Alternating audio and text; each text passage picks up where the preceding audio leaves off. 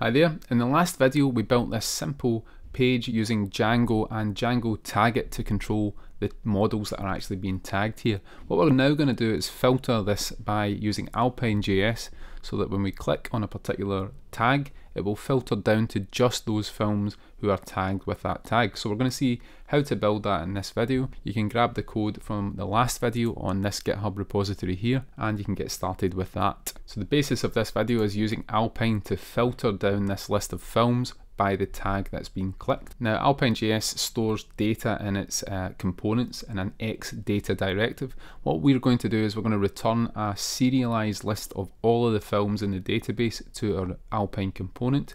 And we're going to use Django REST framework for that. So the first step in this video, if we go to VS Code, we're going to stop the server and we're going to use the pip install Django REST framework command and that will install REST framework in your environment. Now the next step is we want to add REST frameworks to our settings installed apps. So scroll up to the installed apps list here and below Taggit we're going to add REST framework and that will give us access to REST framework serializers and views within this project. What we're now going to do is create a serializers.py file within our core application. So let's create a new file and we'll call it serializers.py and from REST framework, we're going to import the serializers module. And we're also going to import the film model. That's the model we want to serialize. And we're going to create a class called film serializer which will inherit from the serializers.model serializer class. Now in REST framework, a model serializer is actually similar to a model form. It contains a meta class in which you define a model. In our case, it's going to be the film model. And it also defines fields that you want to serialize. And we're going to serialize the film ID, the film name, and also the film's director. So that's the three normal fields that are on our model. If we go to models.py, We've got the name and the director and also the ID is implicit. It's added by Django as a primary key. So we are serializing all three of those fields. Now we also want the tags associated with a film and that's one of the reasons I'm doing this video to show you another part of Django Taggit. So if we go back to the documentation for Django Taggit, there is a section on the sidebar that is about usage with Django REST Framework. So we'll click that and there's a bit of detail here about why you cannot use uh, the normal serializer from Django REST Framework. What we're going to do instead is use the special serializer that's defined by Django Taggit and that's the Taggit serializer. So we're going to copy this import here and we're going to bring that into our serializers.py file at the top. So we'll paste that in here. From taggit.serializers we're importing the taggit list serializer field as well as the taggit serializer. And we're going to extend this taggit serializer, so let's copy that into the definition of this class here. So it's now inheriting from the taggit serializer as well as the model serializer. And what that allows us to do is add this tag serializer list field and we'll add that with eh, a key of tags and we can put that just below our class definition there. And then finally we'll add the tags to the fields that we want to return. So we add that to that tuple there and that should be us good to go with this serializer. So just a quick recap. Django Taggit provides some utilities for working with Django REST framework the taggit serializer, which is part of your inheritance, and then the tag list serializer field. This is a field type that you can use to return the tags to your client as well as the other fields in your model. So that's all good. We now want to set up a Django view that's going to return the serialized film objects. So let's go to views.py and I'm going to import the serializer that we just created. So from core.serializers import the film serializer. That's this class that we made here. And we're also going to import a list view from Django REST framework. From REST framework.generics, we'll import the list API view. So let's scroll down and we'll create a class-based view here. And this is going to be called film list API view. And it's going to inherit from that list API view that we just imported. So the idea behind the list API view is it's going to return a list of serialized film instances. We're going to attach the model in a second. If we go to the Django REST framework documentation, there is a page here on the generic views and you can look at the list API view here. It is used for read-only endpoints that represent a collection of model instances. In our case, it's going to be a collection of films. So what we're going to do is go back to the code here and there's two fields I want to add to this list API view. The first one is a query set and that will define which objects can be returned.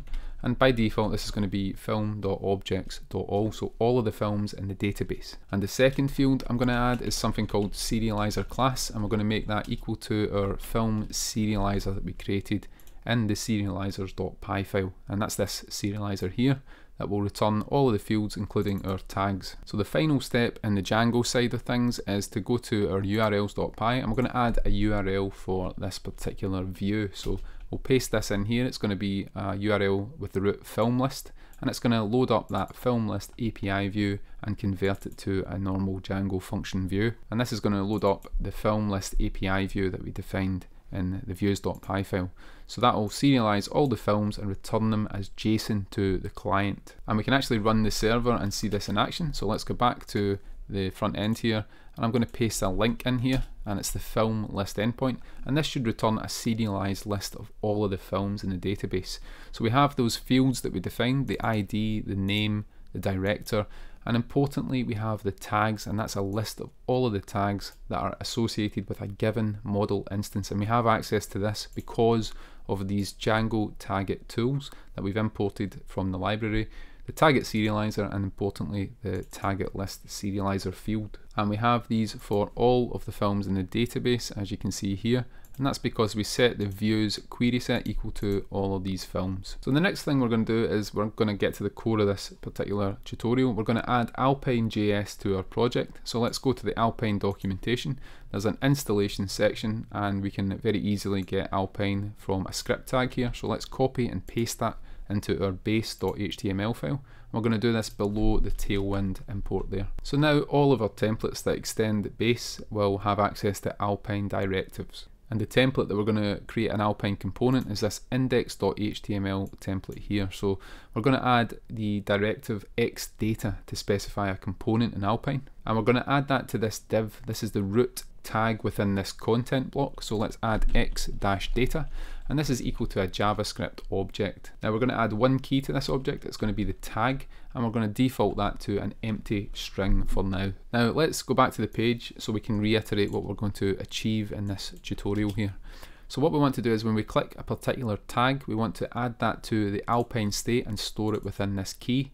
And then we want to only show the films that are tagged with that particular tag. So we're going to progressively update this template to use Alpine in order to do that. Now the tags at the top of the page that you see here, these are all contained within this paragraph tag here. It's a for loop that loops over all of the tags that we've got in the database. And for each tag we have a button. Now when we click that button we want to update this state here that's stored in tag with the new tag that's been clicked. So we're going to use an Alpine on directive, uh, the shorthand for which we're going to see in a second. So let's format this a little bit better um, and we're going to add the click event. And when we click what we want to do is we want to set the inner text of the button which you can see here for example mafia or crime or comedy. We want to set the tag state equal to that text. So we're going to reassign the tag state and we're going to set it to the element that has been clicked which is the button. We're going to set it to the text content of that element. And that basically corresponds to the tag name for the button that's been clicked. And this dollar sign el this is a magic property in alpine which we can quickly see if we scroll down to the magics section. And it refers to the current DOM node. So when we click a button the current DOM node is the button itself. And when we look at the text content we're just going to get the name of the tag and that's going to be assigned to this tag key here. Now the next thing we want to do is we also want to store as well as the current tag we want to get a list of all the serialized JSON films. Now to begin with I'm going to set this to an empty list and then we can use another directive in Alpine to fetch that when this page first loads. So let's format this a little bit better and we can then use the x init directive to fetch a list of these films when the page loads. Now we can go to the documentation of Alpine and again xinit is documented here. And we're going to copy this line here and this is basically fetching some JSON from a server and it's converting it to a JavaScript object which is exactly what we want to do. So we'll paste that in here and we can update the names of the key. So we're reassigning to the films key, so we're going to change that to films. And then the endpoint that we're going to fetch from is called film list and that will correspond to this here in our urls.py. So that should bring the films from the backend into the Alpine state and then we can replace the Django template for loop with an X4 directive from Alpine. So X4 film in films and we need to close that template loop under the A tag. So for each film in the films state that we have here, initially an empty list but eventually will be populated by data from the server. For each one of those we want to render out this A tag. Now for each film we're going to render the text using the X text attribute in Alpine. So I'm going to get rid of these here and we can reference this with the X text attribute and it's going to be film.name and let's copy that down below get rid of the film's director. Uh, for the director we're simply going to say xtext equals film.director. And finally we're going to get rid of this loop here uh, for all of the tags. We're returning the tags as JSON now as you saw using Django REST framework so we can actually directly access those from the response. So to this small I'm going to add an xtext attribute and we're going to set this equal to a JavaScript expression. It's going to be film.tags.join and we can join them with a comma and we'll add a space after the comma. So let's see if this works now. If we refresh the page and we're getting an exception and it's that the end for is expected. So I think we've left something in the template here so it's down at the bottom, this end 4, we can get rid of that and refresh the page. So now we're still rendering these films out, but now we're using Alpine.js directives to do so. Now the question is, when we click a button, is it updating the state with the correct tag? So let's see that quickly at the top. We're going to create a paragraph tag with an x text attribute equal to the tag and we can simply close that off and we should then see what the tag is at the top here. When we click cyberpunk, that's what appears.